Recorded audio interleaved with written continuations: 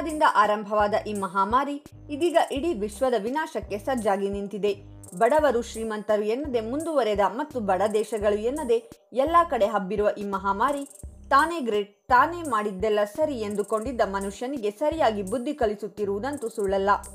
ಇನ್ನು ಸಾಮಾನ್ಯ ಜನರಂತೂ ಇದು ಆದಷ್ಟು ಬೇಗ ಕೊನೆಯಾದರೆ ಸಾಕಪ್ಪ, ಇದಕ್ಕೆ ಕೊನೆ ಯಾವಾಗ ಅಂತ ಕೇಳುತ್ತಿದ್ದಾರೆ. ಇದೀಗ ಈ ಮಹಾಮಾರಿಯ ಬಗ್ಗೆ ಎಂಟು ತಿಂಗಳ ಹಿಂದೆಯೇ ಭವಿಷ್ಯ ಹೇಳಿದ್ದ ಮೈಸೂರಿನ ಅಭಿಜ್ಞಾ ಆನಂದ್ ಗುಡ್ ನ್ಯೂಸ್ ಒಂದನ್ನು ಕೊಟ್ಟಿದ್ದು, ಈ ಮಹಾಮಾರಿ ಯಾವಾಗ ಕೊನೆಯಾಗುತ್ತೆ ಅಂತ ಮತ್ತೊಂದು ಭವಿಷ್ಯವನ್ನು ಹೇಳಿದ್ದಾರೆ.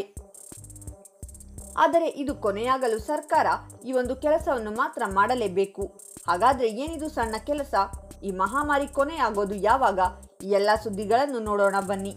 ನೋಡುವ ಮುನ್ನ ಈ ಮಹಾಮಾರಿಯನ್ನು ಕೊನೆಗಾಣಿಸಲು ಸರ್ಕಾರ ತೆಗೆದುಕೊಳ್ಳುತ್ತಿರುವ ಕ್ರಮಗಳ ಬಗ್ಗೆ ನಿಮಗೆ ಖುಷಿ ಇದ್ದರೆ ಈ ವಿಡಿಯೋಗೆ ಲೈಕ್ ಮಾಡಿ. ಹಾಗೆ ನೀವಿನ್ನೂ ನಮ್ಮ ಚಾನಲ್ಗೆ ಸಬ್ಸ್ಕ್ರೈಬ್ ಆಗಿಲ್ಲ ಅಂದರೆ ವಿಡಿಯೋ ಕೆಳಗೆ ಕಾಣ್ತಿರೋ ಸಬ್ಸ್ಕ್ರೈಬ್ ಬಟನ್ ಮೇಲೆ ಪ್ರೆಸ್ ಮಾಡಿ, ನಮ್ಮ ಚಾನಲ್ಗೆ ಸಬ್ಸ್ಕ್ರೈಬ್ ಮಾಡಿ.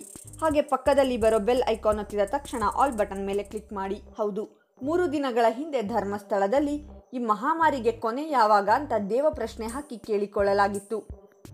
ಅದಕ್ಕೆ ಸಕಾರಾತ್ಮಕವಾಗಿ ಶ್ರೀ ಮಂಜುನಾಥನಿಂದ ಉತ್ತರವು ಕೂಡ ಬಂದಿತ್ತು.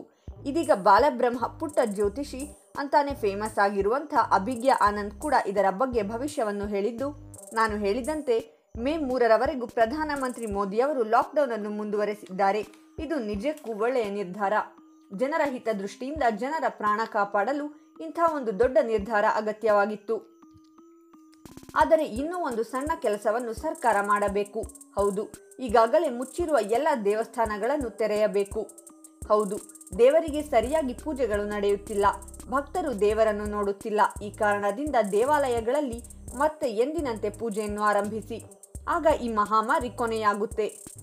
ನಾನು ಈ ಹಿಂದೆ ಹೇಳಿರುವಂತೆ ಮೇ ಇಪ್ಪತ್ತೊಂಬತ್ತಕ್ಕೆ ಈ ಮಹಾಮಾರಿ ಕೊನೆಯಾಗುತ್ತೆ. ಇದರಲ್ಲಿ ಯಾವುದೇ ಬದಲಾವಣೆ ಇಲ್ಲ. ಇದು ನೂರಕ್ಕೆ ನೂರರಷ್ಟು ನಿಜ.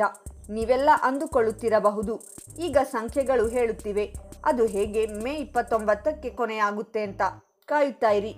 ಮೇ ಇಪ್ಪತ್ತೊಂಬತ್ತಕ್ಕೆ ನೀವೆಲ್ಲ ಒಂದು ದೊಡ್ಡ ಪವಾಡವನ್ನು ನೋಡುವಿರಿ. ಅಂತ ಭವಿಷ್ಯವನ್ನು ಹೇಳಿದ್ದಾನೆ.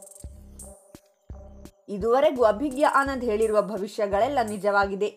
ಅದರಂತೆ ಈ ಭವಿಷ್ಯ ಕೂಡ ನಿಜವಾಗಿ ಮೇ ಇಪ್ಪತ್ತೊಂಬತ್ತಕ್ಕೆ ಈ ಮಹಾಮಾರಿ ಕೊನೆಯಾಗಲಿ ಅಂತ ನಾವು ನೀವು ಕೇಳಿಕೊಳ್ಳೋಣ.